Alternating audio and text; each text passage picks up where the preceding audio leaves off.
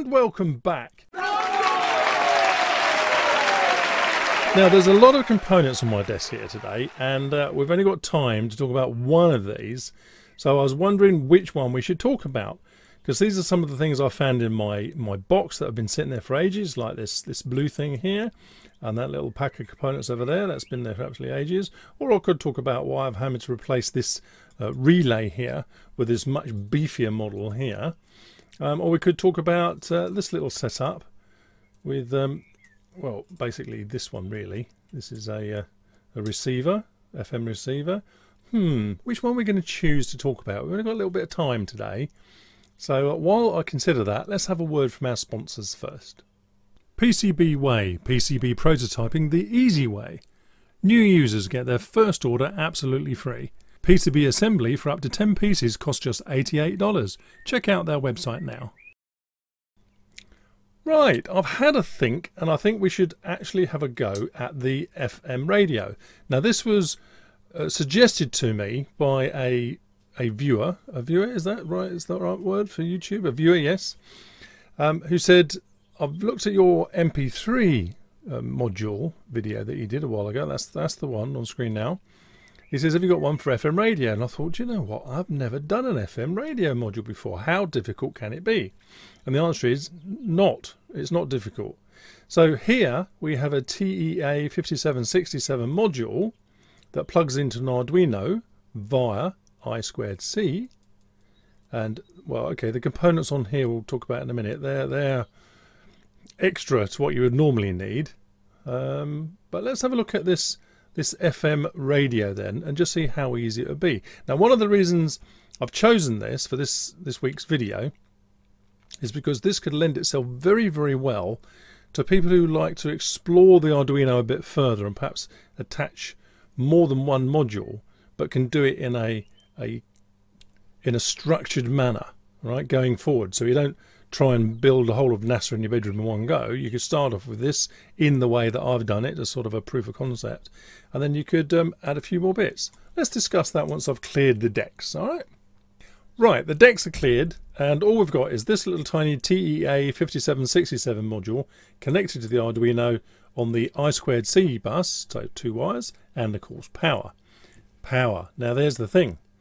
The reason why I've got some of these components over here, forget all these over here, that's from a previous project, um, basically a resistor, capacitor and a couple of wires, is because the power from the Arduino is very noisy. Or at least as far as this module is concerned, it's very noisy. So all I've done is uh, smoothed it out on here, cleaned it up basically before supplying the voltage to here. Now this is fairly uh, relaxed about the sort of voltage it receives. I think it's 2.9 to 5.5 We'll check that on the data sheet in a minute, but uh, it's around that. So you can supply it directly with the 5 volts in the Arduino, but uh, having smoothed it here, I think it gets something like 4 volts, and it's very happy with that, and it works very nicely. So I think the first thing we'll do is show you how it works and how it tunes through things so you can see it working. Um, just one little caveat here.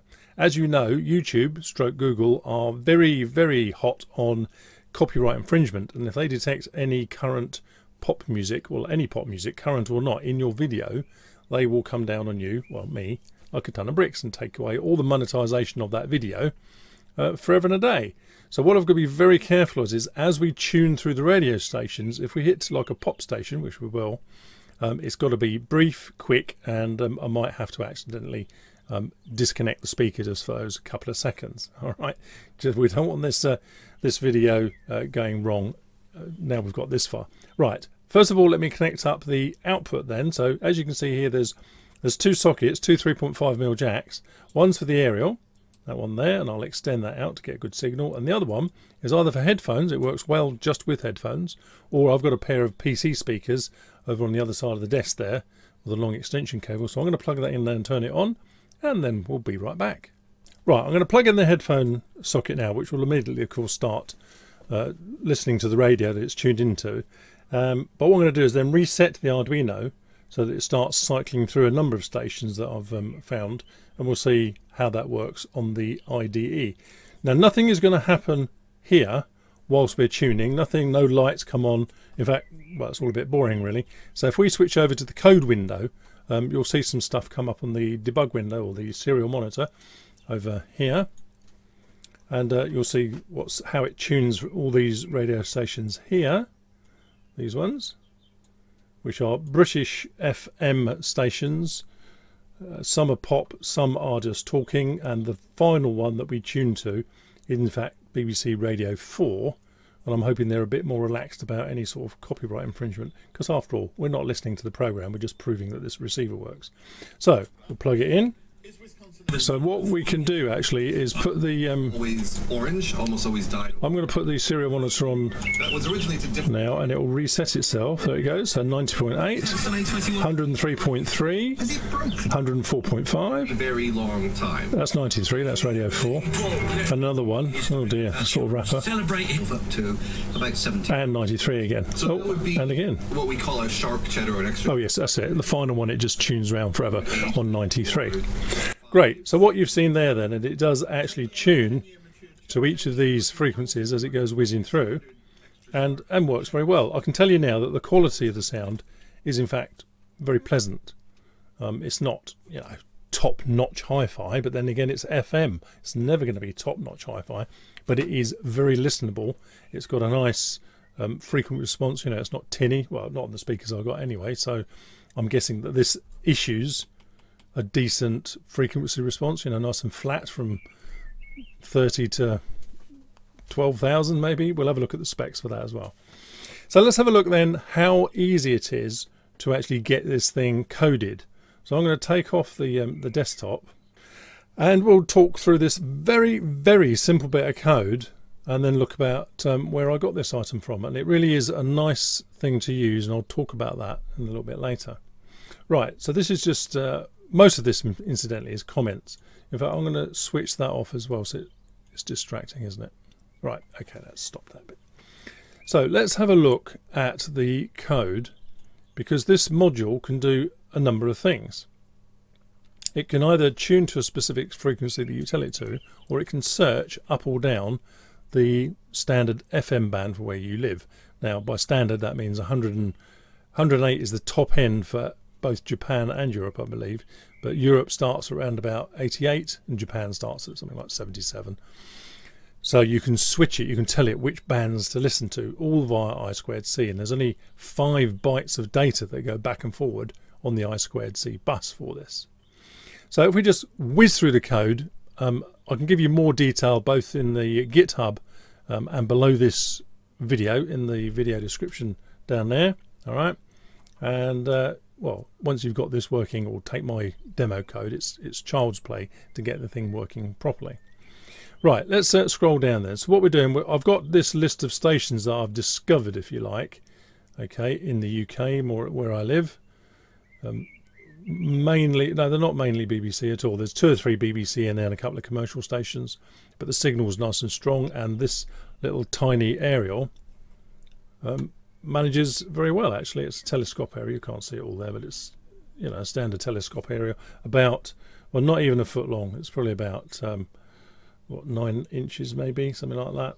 Yeah. So it's it's it picks it up even on that. So what do we do then? So the setup does nothing apart from allow us to debug the code.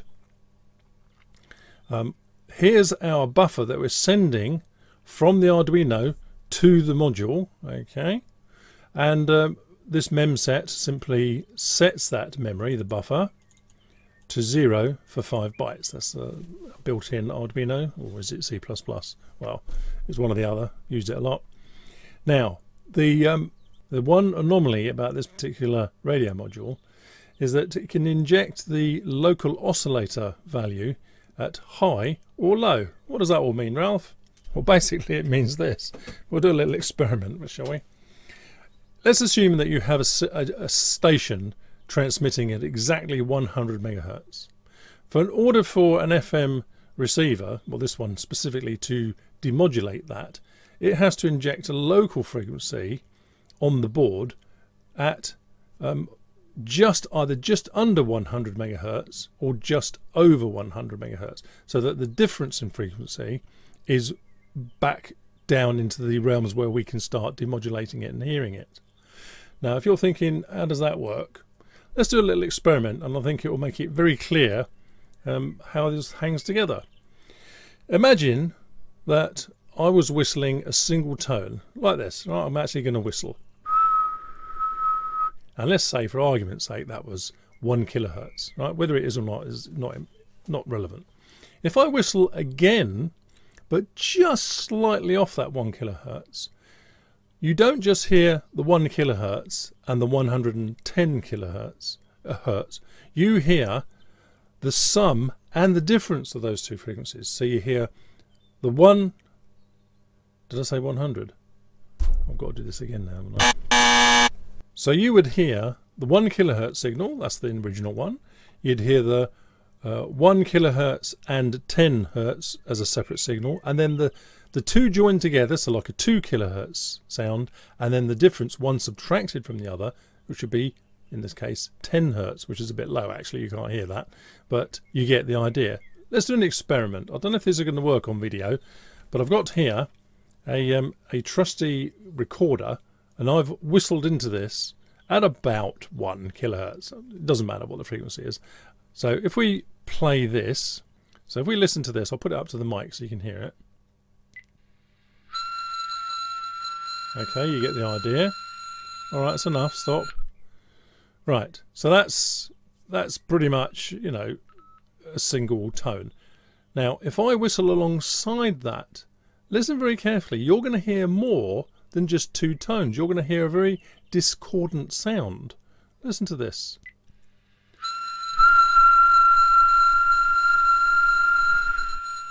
Now, I hope you got that. I could certainly hear it here, and I hope it came out on the microphone. You're hearing the sum and the difference. Let me write this down on a board, we'll, I think it will make more sense then.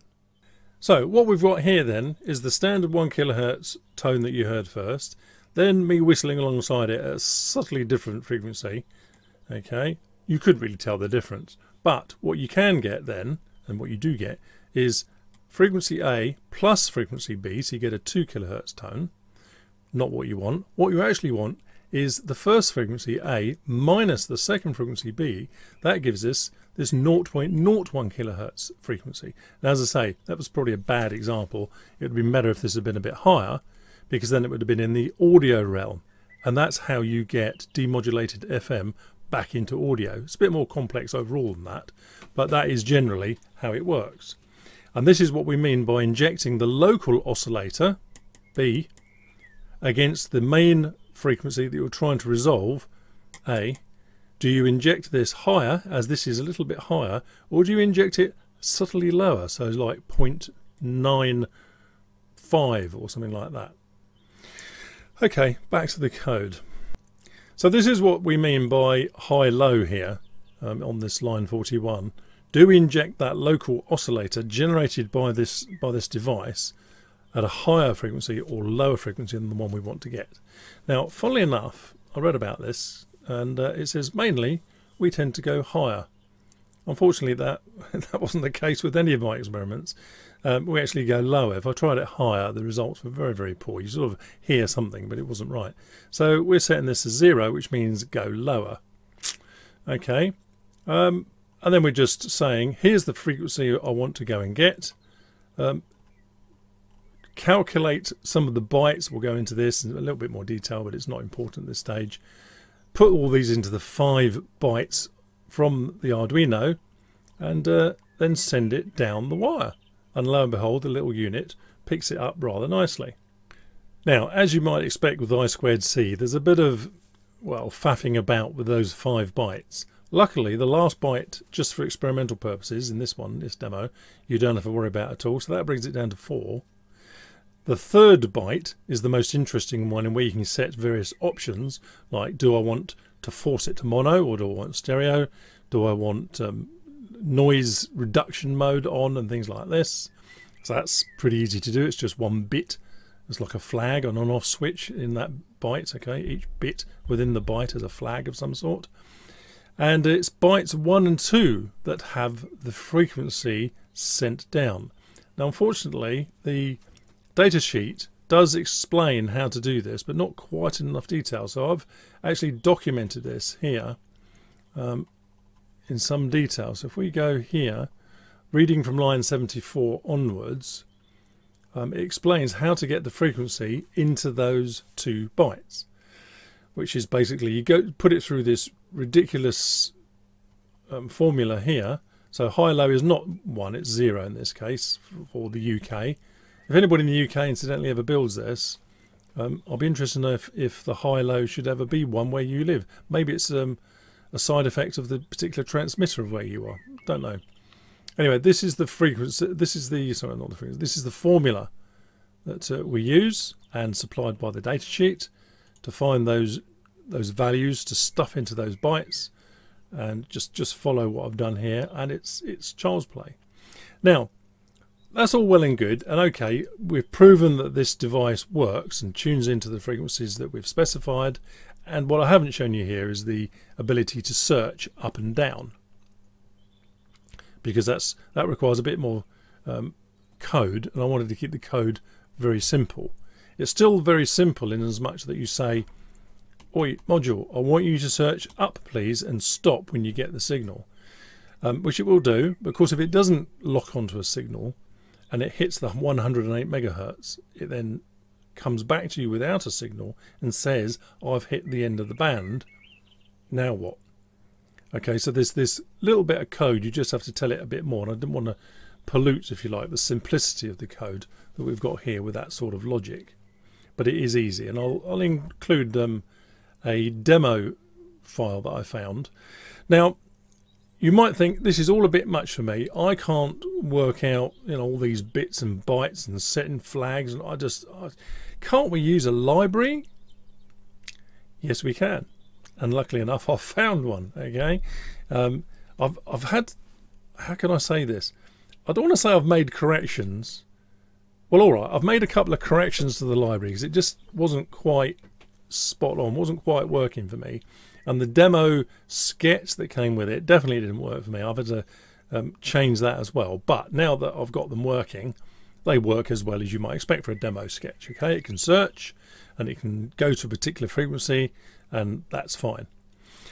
So if you don't want all the faffing about with these bits and bytes and whatnot, then use the library by all means, except just remember though that you're not in total control then.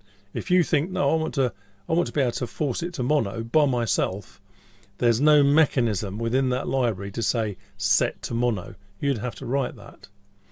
And if you understand the sketch that's on the screen now, you could write your own library. Believe me, it is not difficult for this. I mean, there's only five bytes. Well, four really. Five tops, though, bytes in which you've got to set. It's just not that difficult. And you can do everything you want then. Okay, you can do the, the noise cancelling bit. You can set it to mono. You can suppress one of the channels or the other. There's, there's everything you need to do with this module you can do just by writing your own little library. As I say, if you don't want to do that, use the one that I've found and I'll put up on the GitHub for you. Now, why else then did I think that this particular module was worthy of uh, a beginner's attention? If you're somebody who likes to experiment with Arduino and think, now putting a radio on the end of my Arduino could be, you know, better fun really. Get a nice speaker. You could use an LM386 power amplifier to drive um, a couple of speakers. I'll show you a, a kit that um, Banggood does, if that's because to make it easy, because it uses a, a transparent case and two speakers and it all comes together. Um, it would be nice to do that, but what's more exciting is the bits you can add around this that will really, really show you how to use some of the modules that we've used in the past. Let me draw a couple of pictures. So here we are then, we have a TEA5767 module as we've just described connected to an Arduino right, via the I squared C bus. So you, if you don't want to muck about with the I squared C bus yourself, we'll use the library. But however, we've got the I squared C bit running there anyway, right? Now, what else would you need on a radio to make it useful? Well, one, you'll need some kind of amplifier, unless you're just going to put in earphones, which you can do initially, of course, while you're getting the thing running. So you need an amp from the output, um, ideally stereo, because after all, at the end of the day, this is a stereo device.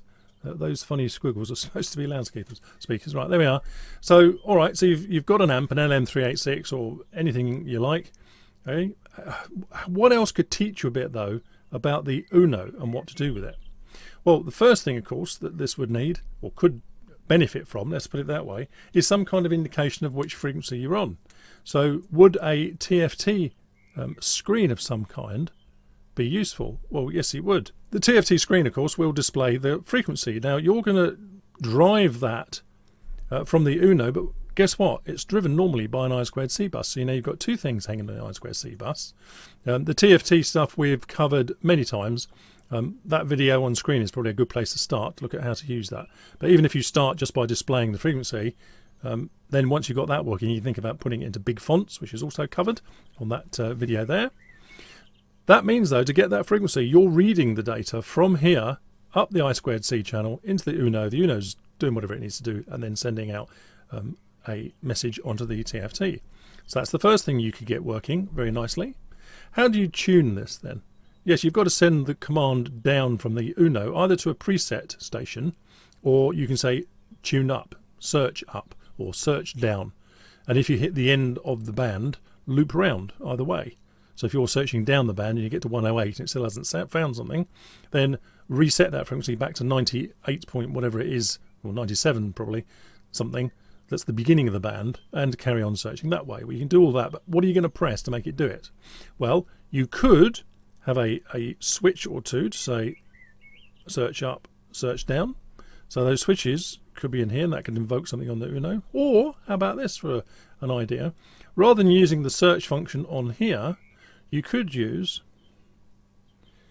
instead of um, a potentiometer, we could use a rotary encoder, a rotary enc.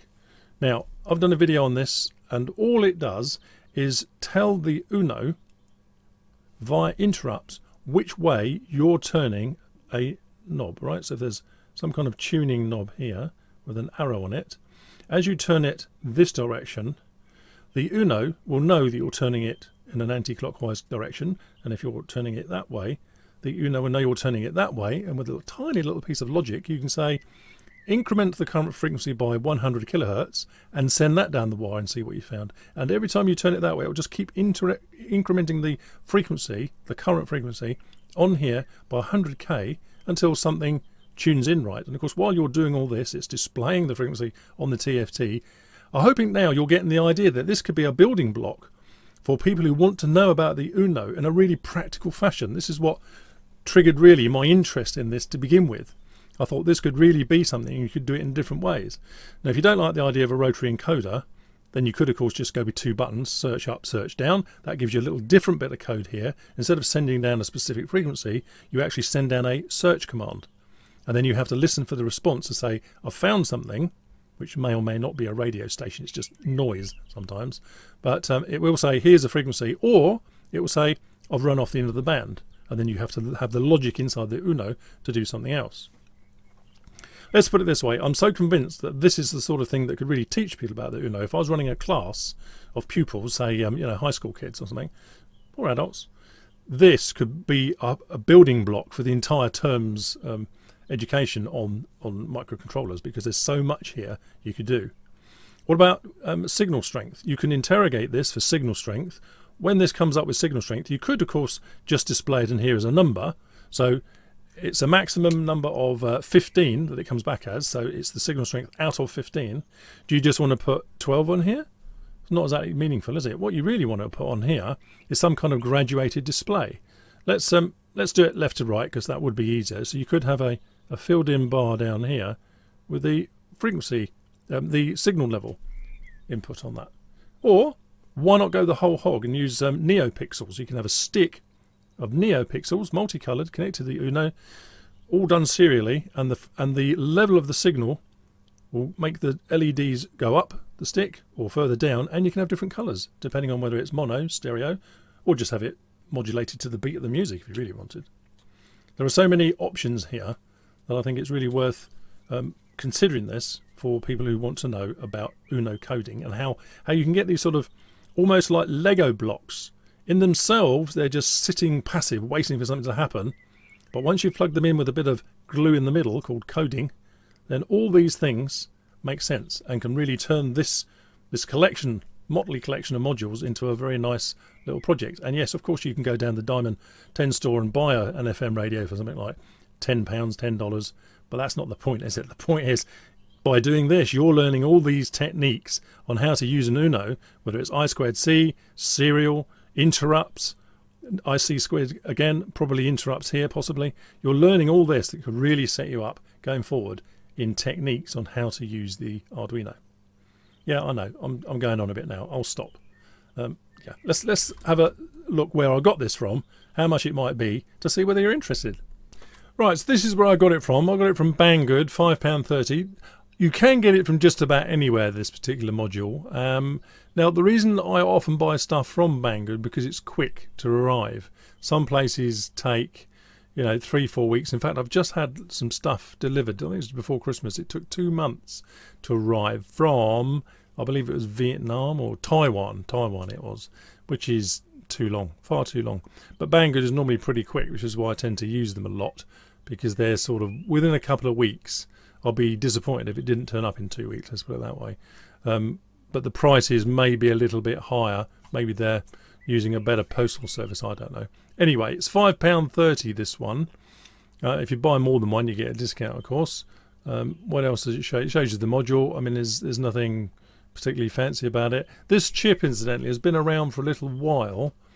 Um, if we look at the data sheet for this chip, you can see it says here, look, revision 5, 26th of January 2007. I mean, that's, or January, so that's now what, um, 12 years ago, isn't it? 12 years it's been around. Now, this is the data sheet, though, for the tiny little chip. If I go back to the desktop just to show you what I mean, on, on this module board, you can just about make out there's this little tiny square here that's been soldered on to this main board. It's this little tiny square that we're talking about in this data sheet. Right, if you were to get this little square module all by itself, which is just a chip and an oscillator and probably a couple of capacitors on there, that would be, I suspect, hard work to put together. But on this board, done like this, it's an awful lot easier. Yes, this chip does implement I squared C natively. There's nothing on here that does that. Um, don't know what that one. That looks like a. No, it's not a voltage regulator. It doesn't matter. Let's not get bogged down in the details. Um, it's easier though to use a little module like this, in my humble opinion, than trying to go just for that little tiny square, which is what we're talking about on the the data sheet. Not that one. That one there. Okay. So, but all the, I mean, obviously because we're using the actual module, um, all this um, is correct. What we're looking at here. So here it talks about the um, Europe and US, which is 87.5 to 108, and Japan 76 and 91. Oh, 91. I thought Japan went higher. Okay. So if you're in Japan or in that part of the world, you can change it just by sending down a different value as part of those five bytes. It's just one bit in one byte, probably byte three actually. Um, yeah, and I'll let you read this at your leisure, but it does give you some nice features. It is a fully fledged FM tuner all the things you would expect from that. Incidentally, if you if you get that module as is, as shown on screen there, and plug it into your 5 volt supply, and plug your aerial in and your earphones, you'll hear Zilcho. Because what happens is, on power up, and in the absence of any other data, it, the device is muted and sits there waiting for a command. Okay, so don't think it's broken if you buy one and do that to check it out. You must send something down the I squared C. Say use my use my demo sketch. It's only a few lines of code, and it'll prove that it's working. I guess that's uh, all we've got time for today. I'm I'm I'm really keen though that um, this is expanded. I might um, fiddle about in future videos and put a an LED or LCD screen on here just to display the frequency perhaps. No promises. And uh, oh yes, all these components here, I say all these, one resistor, one capacitor. Forget all these. The, the bits hidden by my hand are not part of this. Um, this is simply a little tiny smoothing, cleaning of the power. There, are, there's a picture of the circuit diagram for that little bit there. And as you can see, it's two components. But boy, what a difference it makes to the sound quality on here. If you if you plug this directly into the 5 volts or the 3.3 volts, this is noisy. It's, it really does interfere with the sound put it through that, perfect, as perfect as you can get anyway.